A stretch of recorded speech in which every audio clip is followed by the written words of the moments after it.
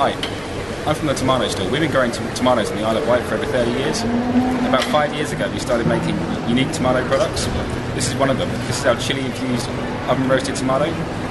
But Our tomatoes have been dried down for 10 hours overnight and then mixed with a chili infused oil.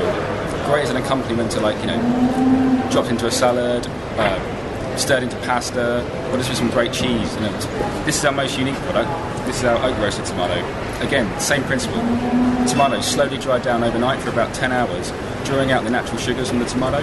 Then they've been roasted over oak for about four hours to create a unique, intense smoke sort of flavour. This is our 100% tomato juice. We choose like the sweetest varieties of tomato, cut them down quickly, bottle them to create this unique fresh juice. There's no salt, no sugar added, perfect served, served chilled on a hot summer's day. Finally, our tomato relish. Our tomatoes, fresh ginger, mustard seeds, a little bit of vinegar and a little bit of sugar, cooked down to create this unique, unique tomato relish. Well, thanks a lot for looking at our stuff on the virtual market.